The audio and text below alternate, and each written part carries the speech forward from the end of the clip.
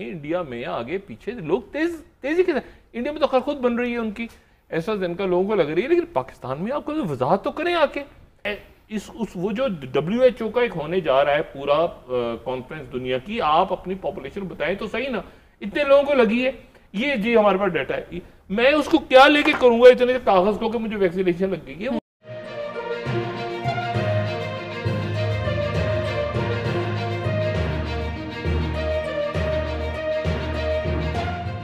पहली बात तो ये कि आईएमएफ का क्या क्या माम ये है क्या मामला? आईएमएफ के साथ क्या डील है? कितना कर्जा है ये जो हमारे वाइस राय हैं जिनको वाइस राय कहा जा रहा है ये आईएमएफ के बिहाफ पे जिनको इख्तियार देने की बात हो रही है। स्टेट बैंक स्टेट बैंक के गवर्नर मोहतरम ये क्या किस्सा है? इस पे कोई बोले इस पर कोई बात करे तो प्रेस कॉन्फ्रेंसेज हो रही हैं और उसमें आके गालियाँ कि मौलाना ने ये कर दिया तो मरियम नवाज़ कहते वो हो गया काफ़ी। राजकुमारी जी और फलाना वो जो है ना वो ढकोसले साइड पे करके जरा ये चंद बातों के जवाब दें कि पहली बात तो ये है हुकूमती अकाबरी वज़ीर अजम साहब क्वारंटाइन में बैठे हैं अल्लाह ताला उन्हें सेहत दे और वो यकीन मौलाना रूम को और मुख्तलिफ़ सूफिया को पढ़ रहे हैं वो साथ साथ इधर भी ध्यान दें कि ये आई एम एफ़ का क्या मामला है। बात नंबर एक। बात नंबर दो ये बताएँ कि ये कोविड वैक्सीन का क्या खेल है? इसको जरा वजाहत फरमाएँ। मतलब पाँच सात वजरा हैं और हर शख्स अपनी एक लाइन लेके चल रहा है। सबसे पहले तो हमारे मेरे ज़ाती दोस्त और ज़ाती यानी इंतहाई काबिल एहतराम है। डॉक्टर फैसल सुल्तान साहब वो ज़रा सामने आए और वो चूँकि इसकी पूरी कोविड की वैक्सीन की ड्राइव को वो। हेड कर रहे हैं। और मुझे ये भी समझ नहीं आया। पहले तो ये बताएँ पहले तो ये बताएँ कि जी वो पहले तो ये बताएँ कि इसमें डॉक्टर फैसल सुल्तान साहब क्वारंटाइन में क्यों चले गए? हाँ। मतलब देखें फैसल फैसल सुल्तान साहब ने कहा मैं भी क्वारंटीन में जा रहा हूँ। भाई आप अगर आपको टेस्ट करवाएँ अगर आप नेगेटिव हैं तो आप क्वारंटीन में कैसे चले गए? इसका मतलब है कि पूरी दुनिया के वो डॉक्टर जो कोविड पॉजिटिव मरीजों को देख रहे हैं वो सारे क्वारंटाइन में चले जाएँ।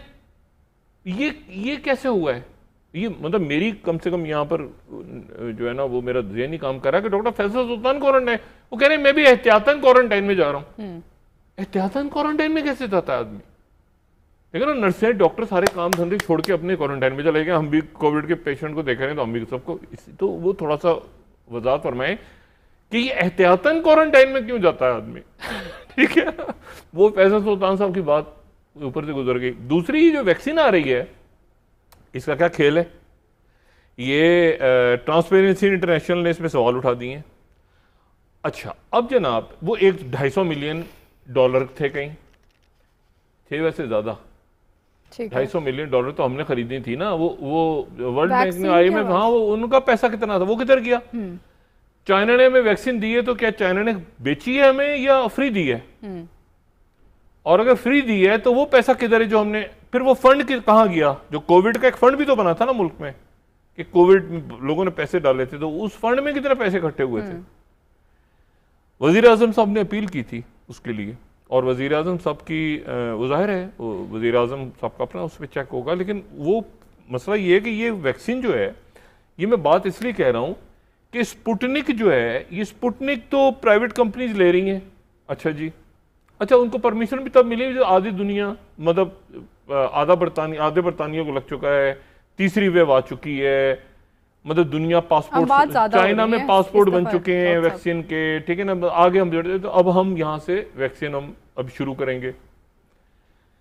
एक तो मुझे ये बताएँ कि जी ये जो वैक्सीन प्राइवेट हॉस्पिटल्स लगाएँगे तो प्राइवेट हॉस्पिटल्स क्या पासपोर्ट इशू करेंगे।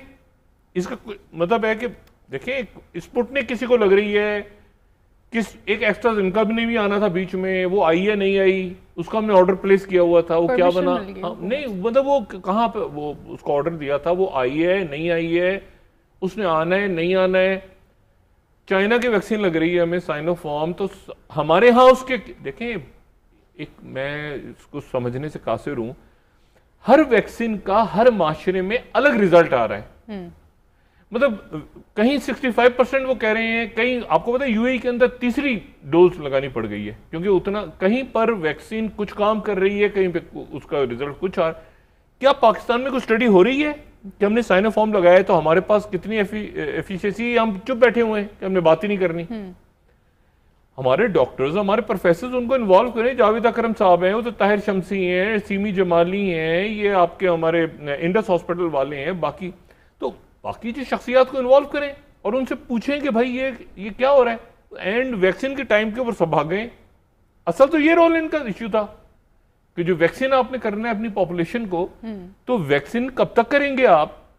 देखें वहाँ पर दुनिया खुलना शुरू हो गई है और जहाँ पर बंद हुई है यूरोप के अंदर तो वहाँ पर वो तेज़ी के साथ इसराइल में आज इलेक्शन हुए तो इलेक्शन का नारा ही उनका ये है हम्म। नतन याहू का कि वैक्सीनेशन नेशन ये इस तरह करके उन्होंने नारा और खोल रहे हैं मुल्क हम्म। तो बात ये कि दो तीन महीने बाद अब खुलेंगे आपके यहाँ कौन सा डेटा है वो जिसकी मर्ज़ी वो साइनोफॉर्म लगा ले जिसकी मर्ज़ी वो स्पुटनिक लगा ले प्राइवेट अस्पताल में कोई आठ हज़ार की लगा ले भाई उनको कोई कार्ड इशू होगा। उनका पासपोर्ट कैसे बने? ये वैक्सीन पासपोर्ट इशू हो रहे हैं। चाइना वाले कह रहे हैं कि आप चाइना में आ नहीं सकते। इंटरनेशनल हम्म। लेवल पे आपकी डब्ल्यू एच ओ की कॉन्फ्रेंस होने वाली है। उस डब्ल्यू एच ओ की कॉन्फ्रेंस में ये तय होगा कि जी ये क्या सारे मुल्क एक दूसरे को एक्सेप्ट कर लेंगे कि स्पुटनिक ली हुई है तो किसी ने कुछ लिया हुआ है। देखिए हंगरी ने स्पुटनिक ऑर्डर दे दिया यूरोप के अंदर एक डिवाइड आ गई है। एस्ट्राजेनका हम्म। उन्होंने रोकी थी। एस्ट्राजेनका दोबारा खोल दिया लेकिन अमेरिका में एस्ट्राजेनका नहीं। एस्ट्राजेनका का सौदा करके अमेरिका अभी तक जॉनसन एंड जॉनसन और फाइजर और मॉडर्ना को अलाउ किया हुआ है अमेरिका ने एस्ट्राजेनका अलाउ ही नहीं है। यानी इमरजेंसी में भी अलाउ नहीं है एस्ट्राजेनका अमेरिका में।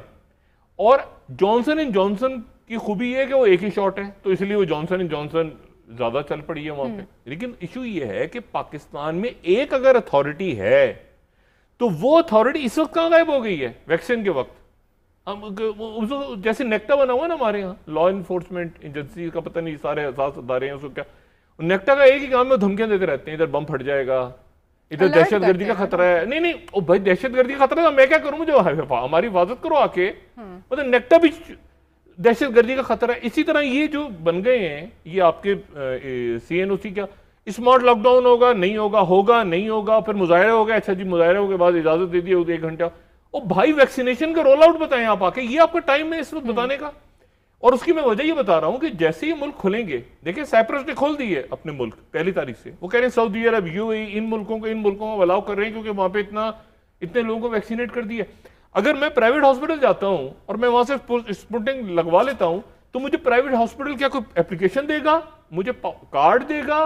उसको मैं या वैक्सीन पासपोर्ट देगा नहीं, नहीं या तो पासपोर्ट देगा कोई। पाकिस्तान में क्या कोई सिस्टम ऐसा बना रहे हैं कि जिसके नतीजे में लोगों को रिजिट और फिर हमारे यहाँ देखिए जो भी वैक्सीन हो एस्ट्राजेनका हो या फाइजर हो या मॉडर्ना हो उसका रिज़ल्ट मुख्तलिफ़ ये जो क्लॉटिंग हुई है एस्ट्राजेनका की तो ये बरतानिया में नहीं हुई। हम्म। ये यूरोप में हो गई है। बरतानिया के अंदर वो ठीक गए हैं बिल्कुल। और जो यूरोप में भी हुई है वो उतनी नहीं हुई जितना एक हंगामा वहाँ पे फैला है। लेकिन उसके बावजूद जब उन्होंने रीस्टार्ट किया है दोबारा एस्ट्राजेनका को तो तेईस फ़ीसद लोग जर्मनी के कह रहे हैं कि जी हमें मंजूर है दोबारा लगवाना। और वन थर्ड जो है वो कह रहे हैं फ्रांस के कि जी नहीं आ, हमें एतबार है।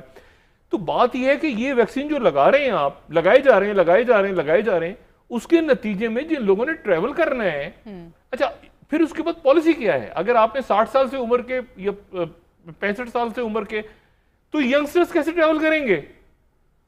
भाई वहाँ तो शुरू कर दी अब वो अपनी एक एज ग्रुप को लगाने के बाद वो यंग जो लोग हैं हाँ। उनको भी देना शुरू कर जो तालीम हासिल करने के लिए जो तालीम हासिल बात यह है कि वो अगली स्टेज पे जा रही है दुनिया।